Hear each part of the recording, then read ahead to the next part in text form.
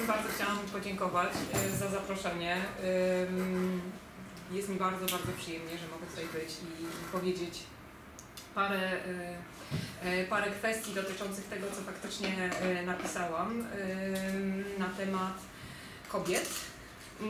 W takim ujęciu ekonomii feministycznej, ale nie tylko. Generalnie ja się będę skupiać na, na, na kobietach, ale i także na, na temacie relacji płci, o czym, o czym powiem za chwilę.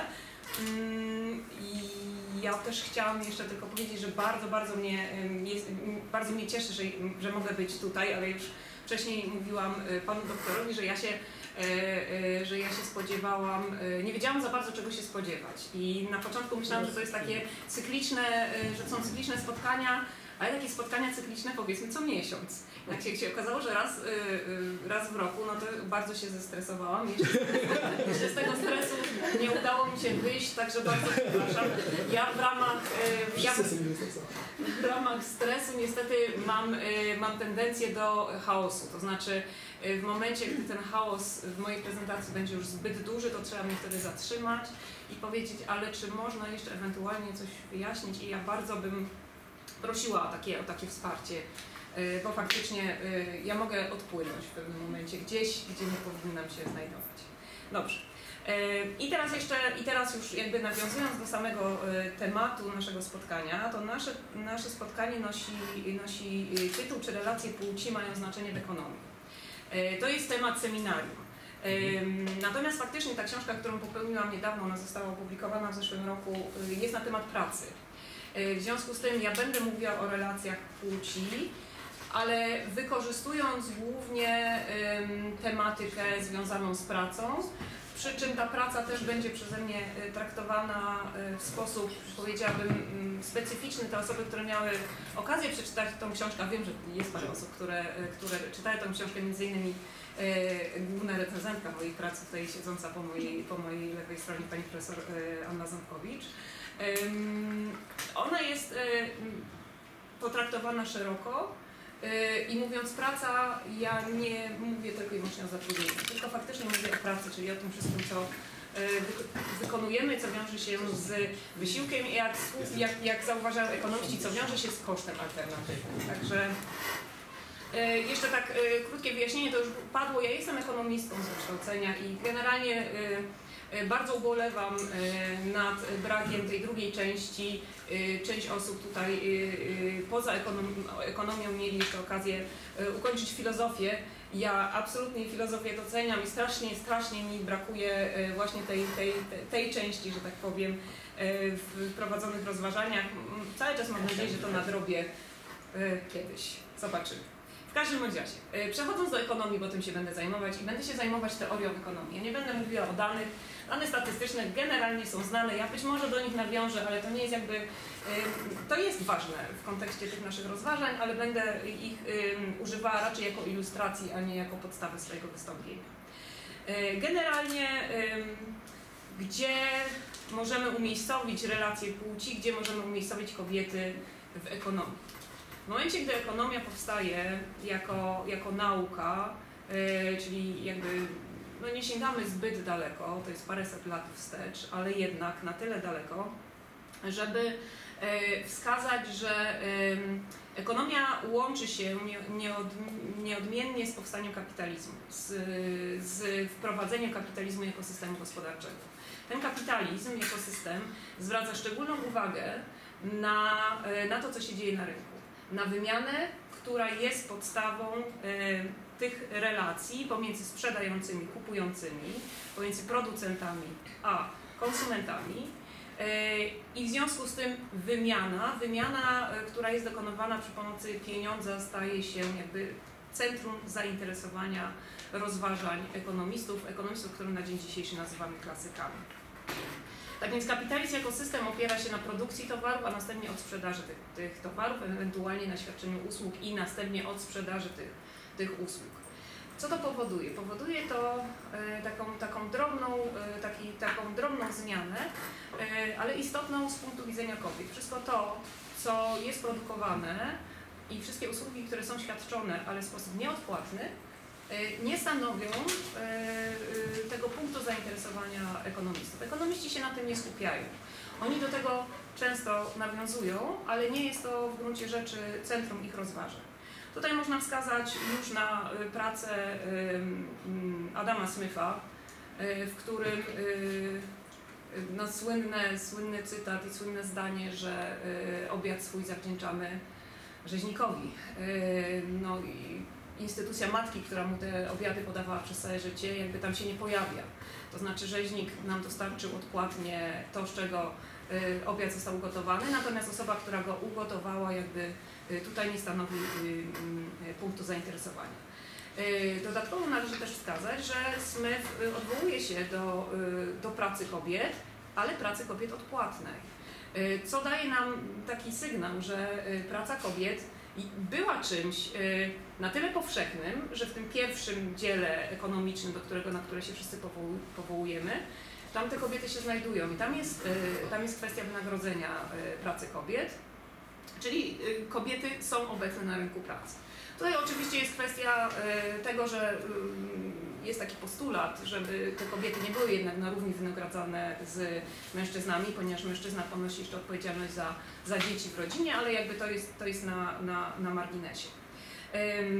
Inne kwestie związane z kobietami oczywiście pojawiają się również w dziełach y, innych klasyków, na przykład Malthus się do tego odwołuje, ale to już y, ewidentnie biorąc pod uwagę y, tutaj teorie ludnościowe, no kobiety pełnią dosyć istotną rolę w kwestii mm, reprodukcji społeczeństwa. W czasach klasycznych szczególną rolę należy tutaj, należy tutaj przypisać osobie, która kończy ten okres klasyczny, czyli e, John Stuart Mill e, oraz jego wieloletnia partnerka, następnie żona, czyli Harriet Taylor. Ich poglądy na temat kobiet zasadniczo różnią się od poglądów, które panują w tamtym okresie.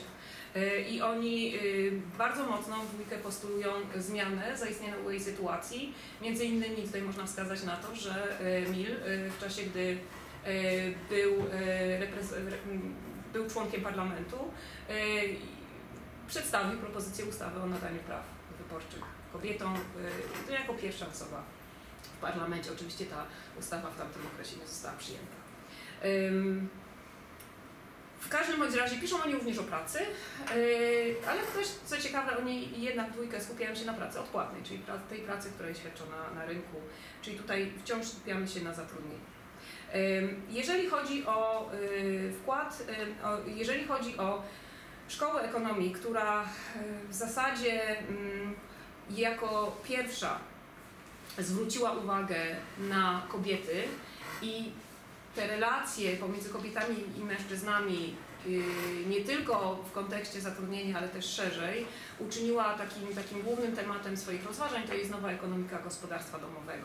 Nowa ekonomika gospodarstwa domowego to są lata 60., 70. XX wieku, więc to jest całkiem, całkiem tak naprawdę niedawny temat. Do tamtego okresu wszystko, wszystkie rozważania, jakkolwiek się pojawiają, ja o tym będę mówiła, to one się pojawiają jakby na marginesie. Yy, zaczynając od Beckera, Gary Becker, yy, Jacob Mincer, Solomon yy, Polaczek, oni wprowadzają tą tematykę do głównego nurtu ekonomii. E, no, wskazując chociażby na to, że Gary Becker e, ostatecznie dostaje Nagrodę Nobla z ekonomii. Natomiast jak postaram się to wskazać następnie w moim wystąpieniu, ich rozważania, jakkolwiek bardzo cenne, one się opierają na dosyć stereotypowych e, założeniach. Co no, należy uznać ten wkład, że kobiety znalazły się w centrum zainteresowania ekonomii, zwrócono uwagę na odmienną sytuację kobiet, natomiast sposób, w który tłumaczono tą zaistniałą sytuację jest, jest, jest, był niesatysfakcjonujący, przynajmniej z punktu widzenia samych kobiet. E, w związku z tym e, następuje kolejna zmiana i ta, to jest zmiana już faktycznie taka najnowsza. E, w latach 90. pojawia się nowy nurt w ekonomii. Niektórzy uważają go za szkołę, ale nie wszyscy. Niektórzy uważają, że to jest program badawczy, nurt, szkoła który wskazuje y, na nierówną sytuację kobiet, a y, poszukiwanie przyczyn tej nierówności stanowi jakby główne pole badawcze te, tej szkoły i tutaj mowa o ekonomii feministycznej, o której troszeczkę powiem. To jest faktycznie szkoła, która się pojawia no, bardzo, bardzo niedawno. W latach 90. zostaje powołana, było powołane Towarzystwo Naukowe Ekonomii Feministycznej, dokładnie w 1995 roku. Parę lat później y, pojawia się czasopismo. Y, I to są takie dwa, dwa punkty, które jakby współcześnie stanowią, że pojawiło się coś nowego, w, jeżeli chodzi o teorię ekonomii. Niestety muszę też powiedzieć, jakby, że już, już jakby o tym mówię, że mm, ja mam takie, taką obserwację, że y, w momencie, gdy te rozważania na temat kobiet stały się powszechniejsze w teorii również głównego nurtu, to ta szkoła zaczyna tracić na znaczeniu. Y, no ale to jest jeszcze, to jest jeszcze y, coś zupełnie nowego, co zaobserwowałam. Jeszcze, jeszcze, muszę, jeszcze muszę, zanim taki wniosek postawię, to będę musiała troszeczkę nad tym popracować. Teraz tak, e, kobiety w ekonomii odgrywają bardzo, bardzo wiele ról i ja chciałam się skupić na, na jednej z nich, e, na której, znaczy ja uważam tą rolę za bardzo, bardzo istotną, natomiast e, chciałabym też podkreślić, że, ja, że to nie wyczerpuje tematu obecności kobiet w gospodarce. Mm, do, o, to, troszeczkę postaram się to rozszerzyć pod koniec mojego wystąpienia. Natomiast ja wybrałam pracę jako temat tych moich rozważań, dlatego że mm, praca y, mm, kobiet, ona y, jakby stanowi, ja już powiedziałam, ona stanowiła pewne temat, pewien temat rozważań y, już od jakiegoś czasu. I teraz praca, która, którą zajmowano się na początku, to była ta praca mm, odpłatna, płaca formalna, płaca, która odbywa się na, na rynku pracy. Ale tak jak powiedziałam, według mnie to nie wyczerpuje y, samej definicji pracy. Y, praca, jeżeli potraktujemy tą czynność jako czynność, która wiąże się z poświęceniem czasu, y, wysiłku, czyli czynność, która posiada swój koszt alternatywny, to w takim sensie pracą nazywa, nazywać możemy również czynności, które, które wykonujemy nieodpłatnie. I te czynności, które wykonujemy nieodpłatnie, to są najczęściej czynności, które wykonujemy na rzecz naszego y, gospodarstwa domowego, ale nie tylko. Ponieważ my nieodpłatnie wykonujemy bardzo wiele różnych czynności. To są również czynności, które, które, które wiążą się z naszym otoczeniem, z instytucjami, z którymi się stykamy w czasie, czasie nasze, y, naszego życia. Y, I ja bym chciała właśnie potraktować tą pracę szeroko. Jakkolwiek zaprezentuję teraz poglądy mm, ekonomistów na te dwa rodzaje pracy jakby rozdzielić. I najpierw chciałam właśnie skupić się na, na pracy odpłatnej i w teorii, e, którą ja na, na tak, to jest bardzo duże uproszczenie, ale nazywam ekonomią głównego nurtu, czyli to, na, to jest ta ekonomia, o której uczymy się w podręcznikach i która generalnie stanowi taki, taki rdzeń teorii ekonomicznej. Jeżeli chodzi o jeżeli chodzi o pracę formalną, tak jak powiedziałam, kobiety były obecne na, na, na rynku pracy, na formalnym rynku pracy praktycznie od zawsze. Natomiast przypisywano im, przypisywano im taką rolę uzupełniającą, to znaczy traktowane było jako dodatkowa siła robocza. Siłą roboczą główną by, byli mężczyźni i na nich koncentrowały się e, rozważania ekonomistów dotyczące e, tak uczestnictwa w rynku pracy, jak i wynagrodzenia za tą pracę. Natomiast to pojawi, znaczy istnienie kobiet na rynku pracy traktowane było jako specjalny przypadek. I tak jest praktycznie od początku. Tak jak już wspomniałam wcześniej, Adam Smith y, wskazywał na to, że to wynagrodzenie kobiet i mężczyzn powinno być zróżnicowane, mężczyźni powinni za, zarabiać więcej, y, ale takie postrzeganie, takie postrzeganie y, pracy kobiet jakby mm, utrzymuje się, kto wie czy nie do dzisiaj.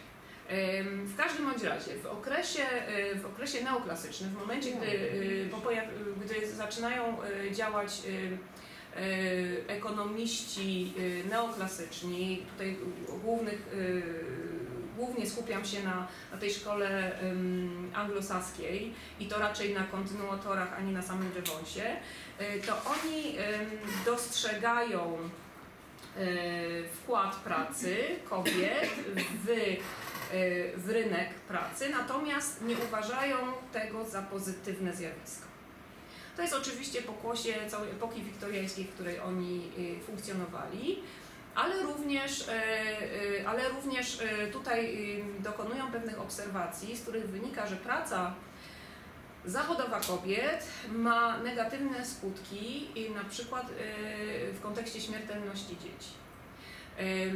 Jakie w takim razie tutaj widzą możliwości rozwiązania tej sytuacji? No, takie naj, naj, najbardziej podstawowe, najprostsze to jest próba ograniczenia tej, tej pracy. Y, to, ta próba ograniczenia to też jest bardzo ciekawe w kontekście poglądów tej, tej szkoły, że oni wskazują na potrzebę regulacji, na potrzebę regulacji państwa, które odgórnie za, za, zakazałoby po prostu pracy kobiet. Szczególnie pracy kobiet, które posiadają małe dzieci.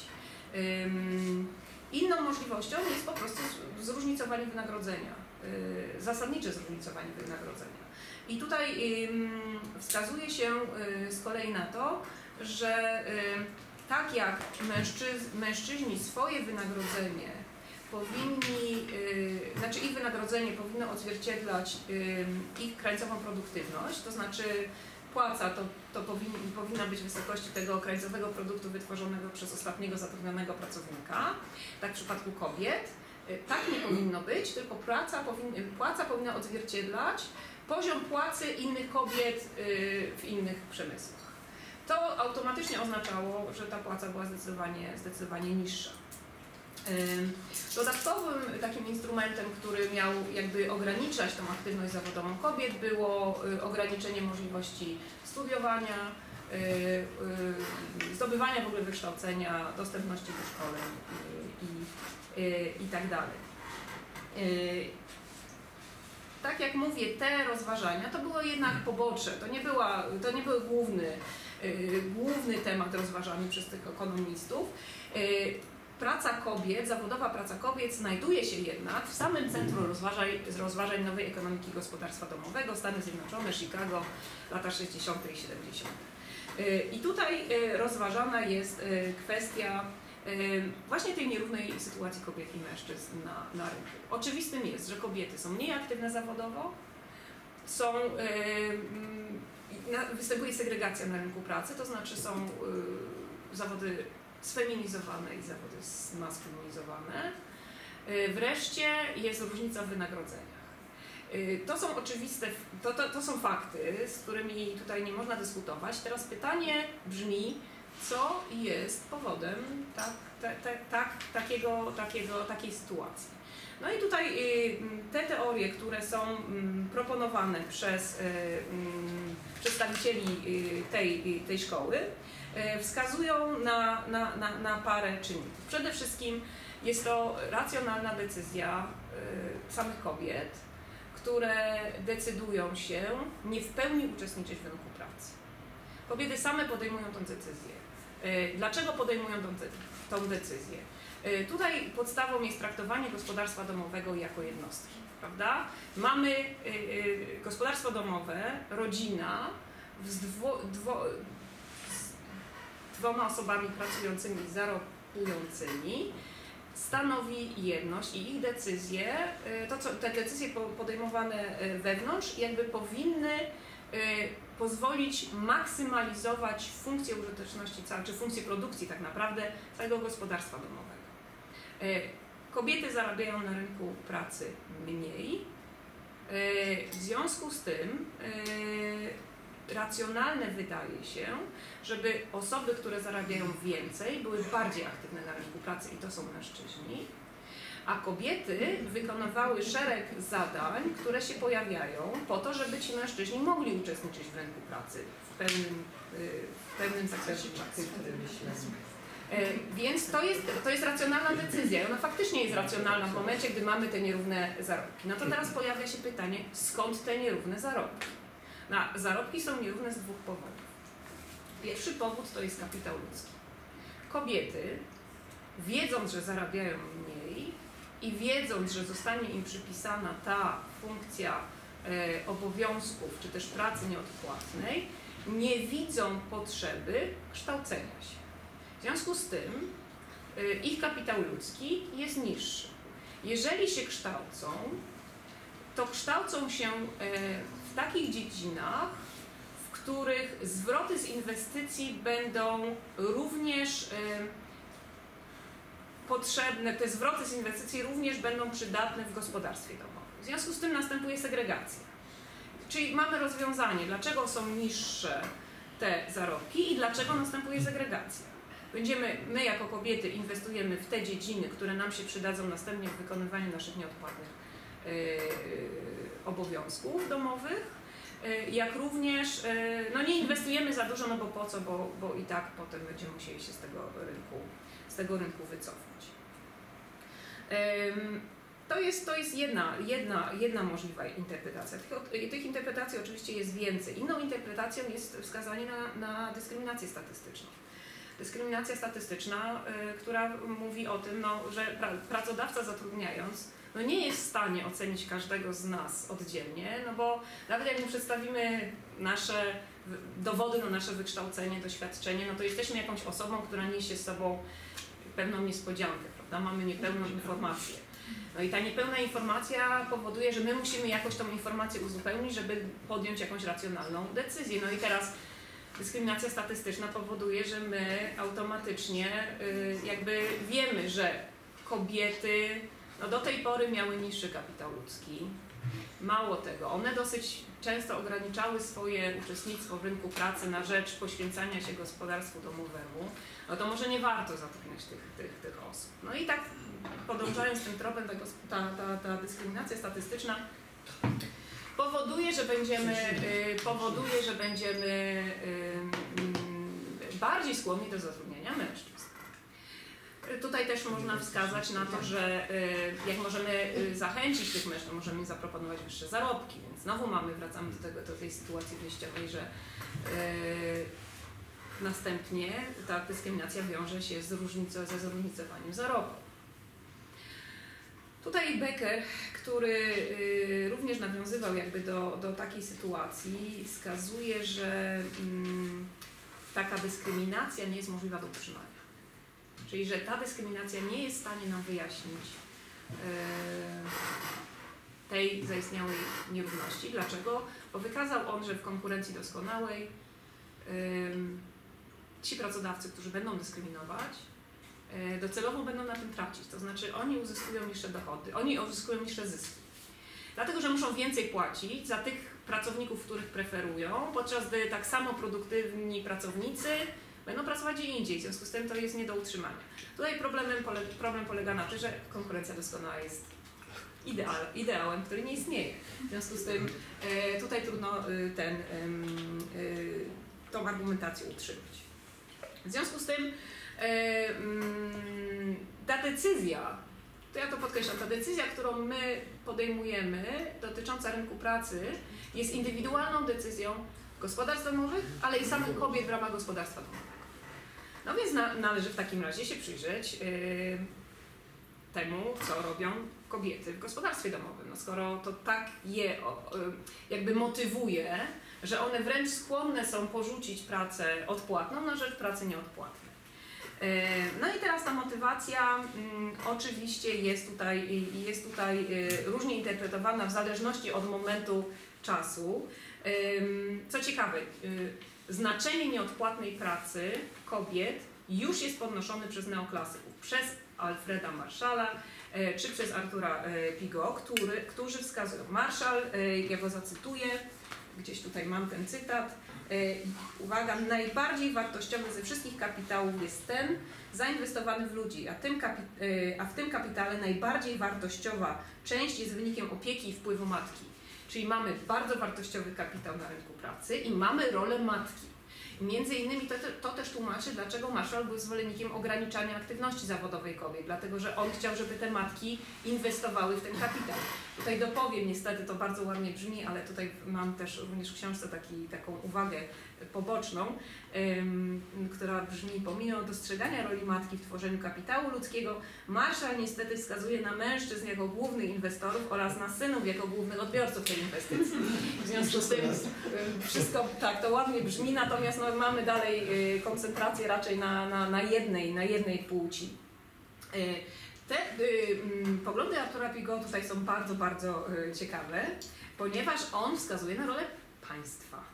Mianowicie uważa, że kobiety odgrywają na tyle ważną rolę, że w momencie, gdy one nie y, jakby są zostawione same sobie, albo ich wynagrodzenie jest zbyt niskie, żeby mogły y, jakby wykonywać tą nieodpłatną pracę na rzecz gospodarstwa domowego, to państwo powinno to wyrównywać. Czyli państwo powinno płacić na kobiety, na biedne kobiety, aby one nie musiały y, rozpoczynać tej pracy zawodowej. Mało tego, mówi on również, że państwo powinno dostarczać, znaczy umożliwiać czy wręcz finansować wykształcenie kobiet, żeby, żeby one wykonywały tą rolę matki i żony w sposób odpowiedni. Tutaj mamy inwestycje w kapitał ludzki, ale bardzo specyficzny. Ten kapitał ludzki, który jest potrzebny w gospodarstwie domowym. Yy, niestety w dalszej części tutaj mowa jest o tym, że no raczej, raczej powi powinny kobiety skupiać się w tym gospodarstwie domowym. Nowa ekonomika gospodarstwa domowego, co prawda dochodzi do takiego samego wniosku, ale zupełnie na innych podstawach. Yy, tutaj te podstawy to, jest, yy, to są korzyści i koszty, które ponosimy związane z pracą, pracą formalną i nieformalną y, oraz maksymalizacja funkcji, y, funkcji produkcji gospodarstwa domowego. Mianowicie, jeżeli my traktujemy gospodarstwo domowe jako, jako, jako, jako związek właśnie dwójki osób, w których y, te dwie osoby powinny, znaczy wykonują pewną pracę, to tak jak w przypadku każdej, in, każdej innej, tak jak w przypadku innych poziomów analizy i tu doceniamy specjalizację. To znaczy już od, od czasów Adama Smitha wiadomo, że specjalizacja jest dobra. Prawda? Podział pracy powoduje, że my jesteśmy w stanie wyprodukować więcej niż bez podziału pracy. I to samo jest prawdziwe w gospodarstwie domowym. Czyli w gospodarstwie domowym, w którym my będziemy się specjalizować, to jesteśmy w stanie po prostu wyprodukować więcej. A więc należy dokonać specjalizacji. Ta specjalizacja jest dobra dla gospodarstwa domowego. E, I tutaj ta specjalizacja oczywiście musi mieć jakieś podstawy. I tutaj trzeba przyznać e, Beckerowi, który właśnie prowadzi taką analizę, że on mówi, że tak naprawdę e, nie ma do końca znaczenia, kto będzie się specjalizował w pracy nieodpłatnej w domu i w pracy odpłatnej na, na rynku pracy, dopóki nie, da się, nie doda się biologicznych funkcji kobiet. I on to robi, to znaczy dodajemy biologię i mamy automatyczny y, okres y, mniej więcej roku przy każdym dziecku, w którym kobieta jest wyłączona z rynku pracy. I ta niewielka różnica przekłada się następnie na, na rosnące różnice w posiadanym kapitale ludzkim, ponieważ praca w gospodarstwie domowym y, powoduje utratę tego kapitału ludzkiego.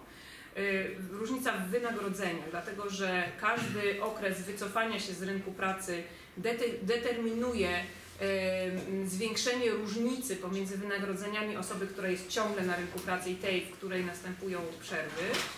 Y, a więc po wprowadzeniu biologii nagle okazuje się, że jednak to ma znaczenie, że to kobieta powinna się specjalizować w rynku pracy, a mężczyzna, że powinna, powinna się specjalizować w pracy na rzecz gospodarstwa domowego, a mężczyzna oczywiście na rzecz, na rzecz e, e, rynku pracy. E, czyli tutaj mamy bezpośrednio wskazanie, że ta specjalizacja ona jest dobra po prostu dla nas i dlatego kobiety podejmują tą decyzję, ponieważ y, w ramach gospodarstwa domowego racjonalne jest, aby to właśnie one specjalizowały się w, w, y, w, w tym w wykonywaniu tej, wykonywaniu tej pracy. Tutaj jeszcze cieka, taka ciekawostka, ja już pominę y, nowsze y, modele. Te nowsze modele generalnie też wskazują na pewne decyzje, które są podejmowane przez same kobiety. Y, to wciąż y, jest jakby kwestia, która jest rozważana między innymi przy wykorzystaniu modeli przetargu, modeli negocjacji, negocjacyjnych. Natomiast na jeszcze jedną kwestię chciałam zwrócić uwagę, mianowicie tak naprawdę no, to na dwie. Jedna mi umknęła wcześniej, więc się cofnę. Co ciekawe, ekonomia, ekonomia y, głównego nurtu, y, wyznaczając sobie y, jakby pewne podstawowe założenia, zakłada również zakłada również naszą motywację do dział- działania. W przypadku rynku naszą motywacją do działania jest maksymalizacja korzyści. I my maksymalizujemy również zachowując się egoistycznie. To jest, prawda, cofamy się do Adama Smitha. Interes własny jest czymś, co nas motywuje. Interes własny jednak według klasyków, według neoklasyków i nie tylko, motywuje nas do działań rynkowych. Teraz pytanie, w takim razie co nas motywuje do działań w ramach gospodarstwa domowego? I tutaj jest interesujący altruizm. Gospo- Gospodarstwa domowe y, mamy inną, mamy inny jakby powód, inną motywację, dla której podejmujemy się pewnych działań. Y, Okej, w takim razie altruizm w gospodarstwie domowym mm, to jest jednak zupełnie inna motywacja, a ja przed chwilą przedstawiłam modele, które mówią jednak o maksymalizacji tak naprawdę produkcji, czyli też mamy tą korzyść. I teraz co ciekawe, w gospodarstwie domowym według Beckera tylko mamy jed- jedną osobę, która jest altruistyczna w gospodarstwie domowym. Teraz e, ja nie wiem, e, to może jest znane, ale altruistyczna jest głowa rodziny, czyli mężczyzna. Wszyscy pozostali się kierują y, maksymalizacją swojej korzyści. Patriarchalny. Znaczy. Matriarchalnym jest to mężczyzna. E, Matriarchat pławy kobiet. mówimy o rzeczywistości, którą, w której żyjemy. To tak, takie uproszczenie. Wiem, wiem, wiem. E, Natomiast e, taka ciekawostka jest, że właśnie i kobieta, i dzieci jakby dążą do maksymalizacji korzyści. I to znowu nam, na, nas powoduje, że to kobieta podejmuje tę decyzję, prawda, o tym podziale. To wszystko jest racjonalne. Jest też to twierdzenie zepsutego dziecka. To też jest fajne twierdzenie, które, które mówi o tym, jak to ten altruistyczny na głowa rodziny jest w stanie przy odpowiednich bodźcach pokierować tym zepsutym dzieckiem, w którym oczywiście też może być kobieta, yy, yy, na, na działanie takie, takie wspólne. E, taka inna rzecz, na którą chciałam zwrócić uwagę, to jest kwestia dziecka właśnie.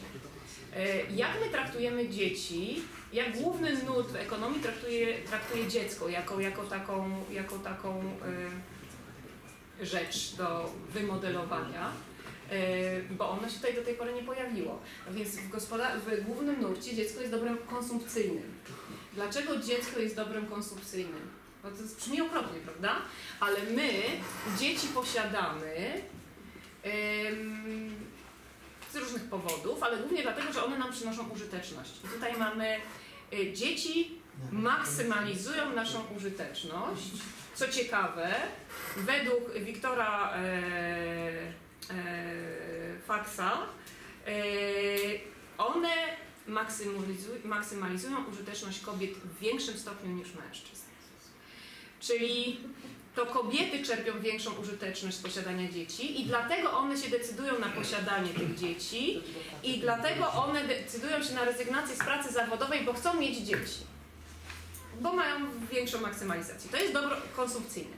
Bardziej współczesne teorie wskazują, że nie do końca tak jest, że to też jest dobro inwestycyjne.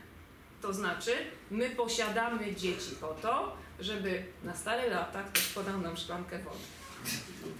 Y, No nie możemy liczyć tu na nikogo innego, więc y, posiadajmy te dzieci, inwestujmy w nie, a one nam przyniosą zwrot. Zwrot bardzo konkretny. Y, Zwrot w postaci y, jakby odpłacenia tych usług opiekuńczych, które my świadczymy, świadczymy wcześniej, albo nawet dochody. W przypadku akurat społeczeństw zachodu to nie jest y, bardzo typowe, ale między innymi dlatego dzieci, dosyć liczne, liczne dzieci posiadają rodziny w niektórych gospodarkach rozwijających się, bo to jest po prostu inwestycja. Bo jeżeli te, tym dzieciom uda się znaleźć pracę, to one wtedy przyniosą dochodu, dochody, którym się będą dzielić ze swoimi rodzicami. Czyli dobro inwestycyjne, dobro konsumpcyjne. Nie ma ubezpieczeń. Dokładnie. I z tego powodu. To jest, to jest jedyne nasze ubezpieczenie. Tak? Musimy sobie radzić. Em, I w związku z tym wprowadzenie powszechnego ubezpieczenia spo, spo, społecznego ogranicza liczbę dzieci. Zresztą nie tylko to. E, w takim razie, jak to jest postrzegane w tej, tej drugiej em, ekonomii, którą tutaj pozwoliłam sobie wybrać do prezentacji, ale również do mojej książki, mianowicie ekonomia feministyczna. Ekonomia feministyczna generalnie zgadza się z ekonomią głównego nurtu co do tego, że nierówność jest. Tak, ona jest, ona jest widoczna, ona co ciekawe się utrzymuje. Nawet szczerze powiedziawszy, nie ma żadnej tendencji, żeby się zmniejszała od pewnego czasu, oczywiście.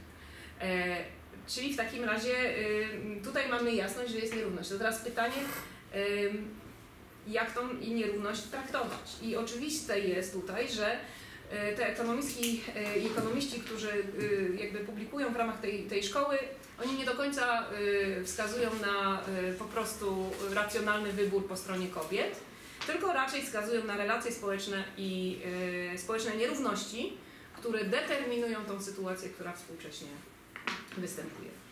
Y, Podział y, pracy pomiędzy płcie jest wynikiem umowy społecznej. Dawno, dawno temu umówiliśmy się, że tak, tak ten podział będzie wyglądać. E, Tutaj mamy różne teorie na temat tego, kiedy to nastąpiło, I kto z kim? Kto się umówił? kto się umówił. Oczywiście tutaj głównie wygląda na to, że to właśnie te głowy rodzin patriarchalnych umówiły się między sobą, że to nie oni. Altruistycznie nastawieni. to, tak, e, że to nie oni, ale faktycznie to jest podział, który, jest, który się utrzymuje przez bardzo długi okres czasu. E, Kapitalizm, e, wprowadzenie nowego systemu kapitalistycznego, który otworzył możliwości pracy zawodowej również i kobietom, jakby był takim, e, by, był tym elementem, który tak naprawdę poniekąd zakwestionował ten podział, ale następnie go utrwalił. Czyli początkowo jest to, że mamy, y, mamy ten podział, może spróbujmy sobie y, zredefiniować y, istniejące relacje, ale mm, okazało się, że to jest bardzo trudne i, y, i można było te relacje płci po prostu utrwalić, bo było to znowu wygodniejsze dla, y, dla całości społeczeństwa albo części tego społeczeństwa. Ten nierówny podział pracy jednak wyjaśnia nam y, nierówności, które występują już na, na rynku pracy. Czyli jakby tutaj jest, tak, tutaj jest bezpośrednio wskazane, że główną przyczyną nierówności kobiet i mężczyzn na rynku pracy są obciążenia y, tą opieką i obowiązkami wykonywanymi na rzecz gospodarstwa domowego w ramach y, gospodarstwa domowego. Decyzje związane z alokacją czasu, bo to chodzi o to, na co my wydatkujemy nasz czas, który mamy ograniczony, wynikają z przekonań społeczeństwa. Społeczeństwo jest przekonane, że y, kobiety są bardziej efektywne w wykonywaniu tych y, czynności związanych z gospodarstwem domowym. Tutaj można cytować rozliczne wskazania, że to matka jest tą osobą, która powinna zajmować się dzieckiem, bo dziecko traci, jak to nie matka się nim zajmuje. Y, Albo, y, ale dru, druga kwestia to jest taka, że mężczyźni po prostu zarabiają więcej na rynku pracy. To poniekąd też można wskazać, że to jest umowa społeczna. To znaczy, oczywiście my możemy się tutaj odwoływać do różnych teorii ekonomicznych, które pokazują, że tutaj efektywność i to jest najważniejsze, że to rynek wyznacza tą, tą pracę, y, tą płacę, ale również można na to, na to wskazać, że to jest po prostu pewna umowa społeczna, która się ciągnie za nami od czasu Smytha tak? który, jako, który też wskazywał na to, no, że kobieta powinna po prostu zarabiać, y, zarabiać, zarabiać mniej. Te, y, ten podział, y, on był w różny sposób przedstawiany przez ekonomistki i ekonomistów feministycznych. Tutaj pojawiają się takie, takie mm, określenia jak podatek matek. To znaczy faktycznie jest tak, że w momencie, gdy kobieta, nie inaczej, że kobieta w ogóle płaci podatek z racji tego, że potencjalnie może zostać matką. Y, Tutaj możemy wskazać na, na dyskryminację statystyczną. Przecież nie wszystkie kobiety są matkami, ale statystycznie jesteśmy wszystkie matkami. W takim, znaczy, to nie ma tak naprawdę znaczenia. Mamy również y, tak zwaną karę za posiadanie dziecka. Kara za posiadanie dziecka to jest już bezpośrednio wskazanie na to, co się dzieje z wynagrodzeniami rodziców. Y, Była taka idea początkowa, że to jest kara za posiadanie dziecka. Y, To znaczy, w momencie, gdy pojawia się dziecko, y, różne modele wskazywały tutaj. Mamy takie wskazanie, że, że płace obniżają się. Następnie głębsze badania problemu wskazały, że to nie jest prawda dla wszystkich, że tak naprawdę to jest kara dla matek. I teraz aktualnie wskazuje się na e, karę za macierzyństwo. ponieważ płace mężczyzn bardzo często wzrastają wraz z posiadaniem dziecka. Statystycznie jest to, jest to, jest to pokazane, że jest pewien wzrost. Przy posiadaniu dziecka mężczyźni zaczynają zarabiać więcej z różnych powodów. Zwiększenie aktywności na rynku pracy też w to wchodzi. Natomiast matki, y, mm, znowu, to jest wartość zagregowana. To nie, jest, to nie są poszczególne osoby, tylko zagregowane wyniki pokazują spadek i to można racjonalnie wyjaśnić. Część matek rezygnuje na długie lata. I automatycznie, y, jak następnie wracają na rynek pracy, no to zaczynają zupełnie innego poziomu, prawda? Y, Więc, więc y, jest to kara przypisana do, do, wydaje się, do macierzyństwa. Na co wskazują, y, na co wskazują jednak y, ekonomistki i ekonomiści feministyczni, to to, że decyzja o tym, kto y, przejmuje te obowiązki mm, na wykonywane na rzecz gospodarstwa domowego, czy też obowiązki opiekuńcze, to nie jest, to nie jest kwestia naszych preferencji i gustów, to nie są gusta i preferencje, to nie jest też tak naprawdę wolny wybór, to jest umowa społeczna, którą my akceptujemy, a jeżeli jej nie akceptujemy, to i tak nie mamy za bardzo wyjścia. Yy, No chociażby biorąc pod uwagę, ja, żeby tutaj mnie dobrze zrozumieć, ja uważam, że to jest yy, jedno z najlepszych rozwiązań, które istnieje dla matek, yy, czyli urlop macierzyński. To jest, nie wyobrażam sobie, znaczy jestem w stanie sobie wyobrazić, bo są kraje rozwinięte, chociażby jak Stany Zjednoczone, w których nie ma urlopu macierzyńskiego i wraca się do pracy po dwóch tygodniach niepłatnego urlopu. Yy, I to jest rewelacyjne rozwiązanie, natomiast tutaj nie ma kwestii wyboru. Urlop macierzyński jest obowiązkowy, Yy, więc matki nie mogą zrezygnować z urlopu. No i może całe szczęście. Natomiast to yy, również wpływa na pewne decyzje pracodawców. Tutaj, jeżeli chodzi o, o kwestię rynku formalnego, to jest kwestia postrzegania rynku, czy też wykorzystywania teorii segmentacji. Yy, Czyli inne teorie są yy, wykorzystywane do yy, jakby próby podjęcia, znalezienia przyczyn sytuacji kobiet na rynku pracy. Ta, te teorie segmentacji rynku konkretnie chodzi o rynek dualny, w którym mamy podział na rynek pierwotny i rynek wtórny, gdzie kobiety są, gdzie rynek pierwotny to są te dobre miejsca pracy z, dobrą, z dobrym wynagrodzeniem, z pewną, z pewną swobodą wykonywania, y, wykonywania y, mm, tej pracy przypisanej. Rynek wtórny to są, y, jest gorzej płatny, to są zajęcia rutynowe. I tutaj jest przypisanie kobiet do tego rynku, rynku wtórnego. Y, Ja tutaj się y, mogę, y, ja nie będę tego może szczegółowo wyjaśniać, ale chodzi o to, że tutaj ten podział jest znowu prowadzony na podstawie, na podstawie posiadanego przez nas doświadczenia zawodowego, ale również możliwości rezygnacji z pracy. Rynek pierwotny jako ten lepiej opłacony, prawda? Na tym rynku y, pracodawca dokonuje inwestycji. To pracodawca będzie musiał zainwestować w pracownika. I teraz, jeżeli mamy do wyboru pracownika, który będzie w naszej firmie, z naszą firmą długo związany, nieprzerwanie, oraz y, pracownika, który w pewnym momencie odejdzie chociażby na pół roku, to nam się po prostu bardziej opłaca inwestować w pracownika, który będzie miał ciągłe, ciągłe zatrudnienie. No i nas, następuje podział, następuje podział pomiędzy, pomiędzy tymi y, zajęciami dobrymi i zajęciami złymi, gdzie kobiety są y, spychane do tych zawodów, y, zawodów gorszych. Wszystko sprowadza się do y, pewnego y, wymodelowania uczestnictwa w rynku pracy w oparciu o tak, zwany, o tak zwanego uniwersalnego pracownika. E, Problem kobiet polega na tym, że kobiety nie są uniwersalnym pracownikiem. Po prostu. E, Tak naprawdę nikt nie jest, ale to raczej y, do tego modelu uniwersalnego pracownika w lepszym stopniu pasują mężczyźni niż kobiety. Y, Tylko tak jak mówię, to nie jest tak, że mężczyźni tam pasują, po prostu mężczyźni bardzo często też tam nie pasują, tylko że kobiety nie pasują jeszcze, większe, wie- jeszcze w większym stopniu. E, Co to powoduje? Powoduje to oczywiście trudności kobiet na rynku pracy, ale to powoduje również często ubóstwo. E, Mówi się o takich kwestiach jak feminizacja ubóstwa, e, ale jak spojrzymy na przyczyny tej feminizacji, no to one wszystkie sprowadzają się do tych naszych obowiązków opiekuńczych.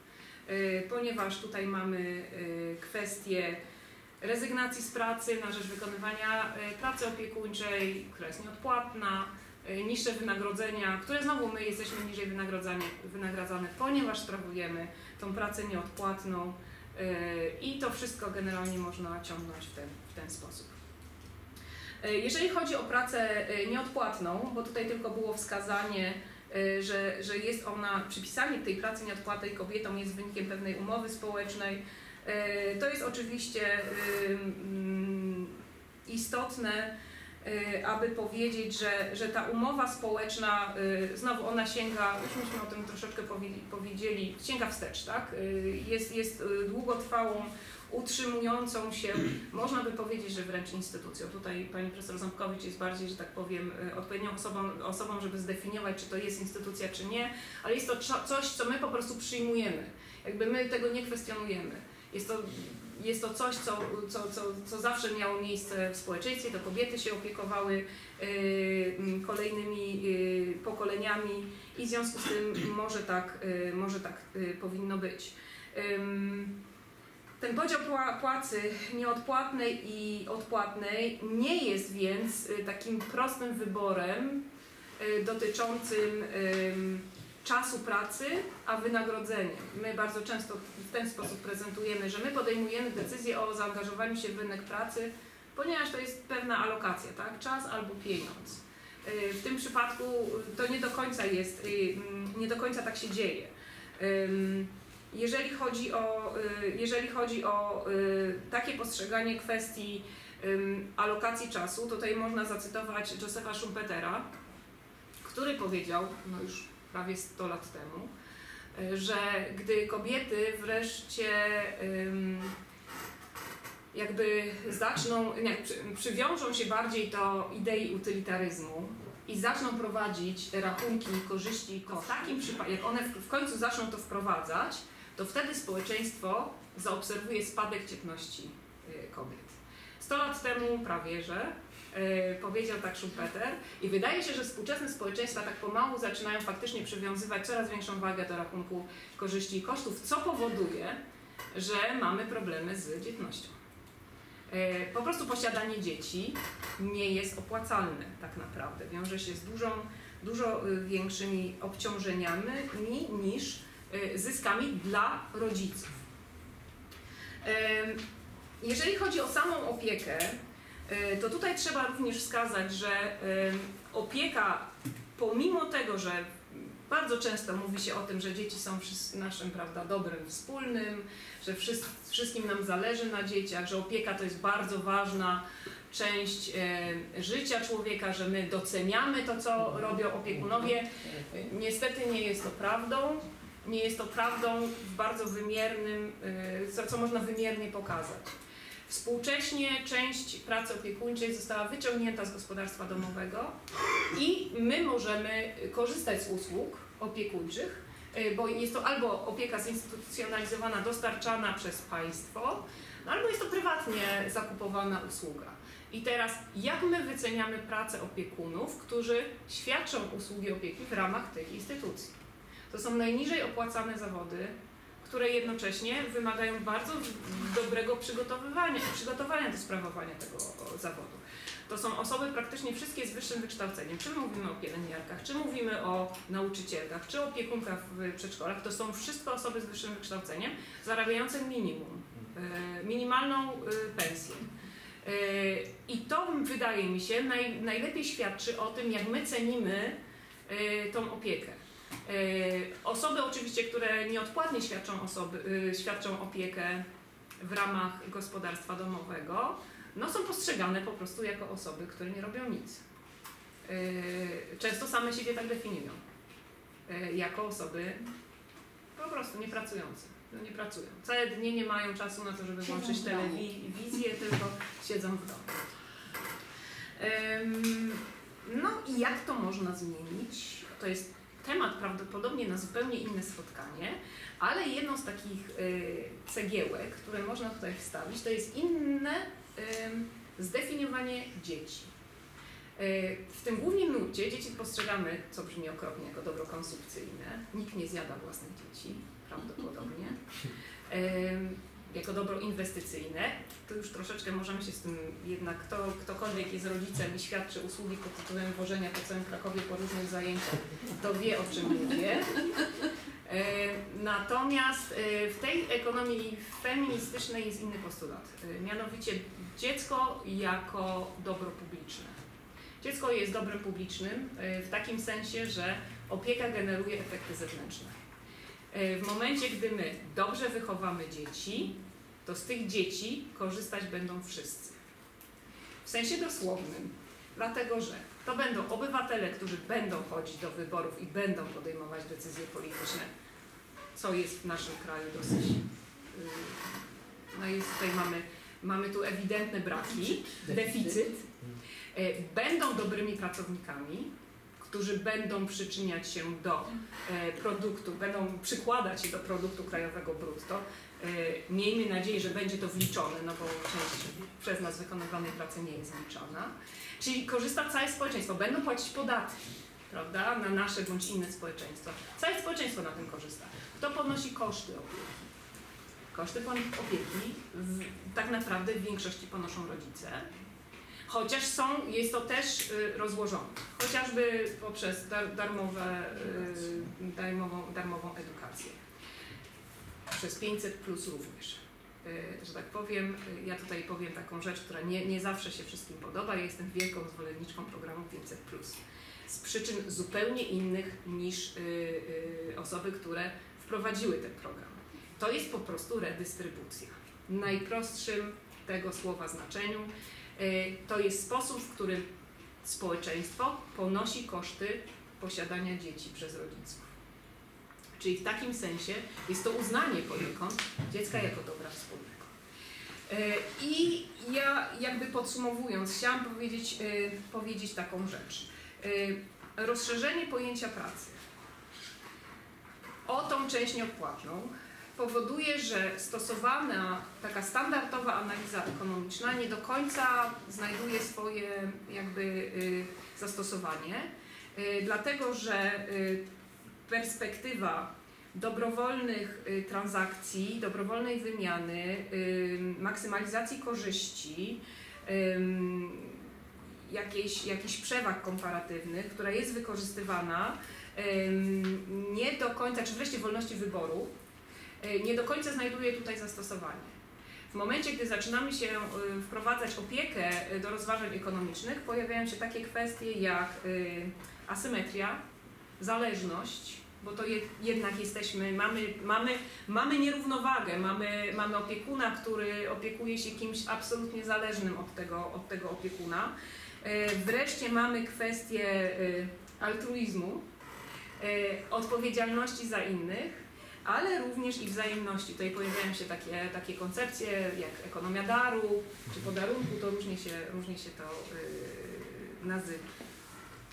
Yy, to wymaga, yy, to wymaga y, takiego, wydaje mi się, szerszego spojrzenia, y, ale przede wszystkim zrozumienia, że kwestie mm, pracy nieodpłatnej to nie, jest, y, to, nie, to nie są rozważania, które znajdują się na zewnątrz rozważań ekonomicznych to jest coś, co znajduje się w samym środku rozwiązań ekonomicznych, dlatego że od tego, co my robimy w ramach nieodpłatnej pracy, y, determinuje to, co następnie będzie można robić w ramach formalnej gospodarki.